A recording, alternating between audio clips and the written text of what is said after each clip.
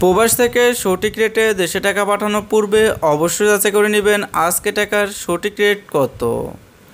কেননা যখন বৈদেশিক মুদ্রা মান বেশি থাকবে, তখন দেশে টাকা পাঠালে পরিমাণে অনেকটাই বেশি পেতে পারেন।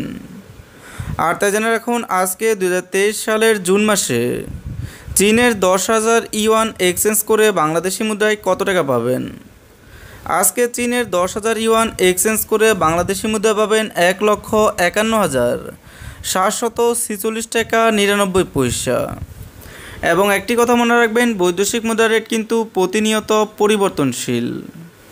অর্থাৎ আপনি যখন এই ভিডিওটি দেখছেন এবং আমি যখন এই ভিডিওটি তৈরি করেছি, তখনকার সাথে হয়তো সামান্য হেরফেক থাকতে পারে।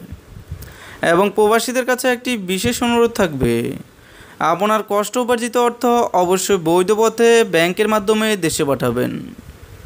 কেননা বৈধ পথে ব্যাংকের মাধ্যমে দেশে টাকা পাঠালে আপনি শতকরা আড়াই পার্সেন্ট সরকারি প্রণোদনা পাবেন। ধন্যবাদ।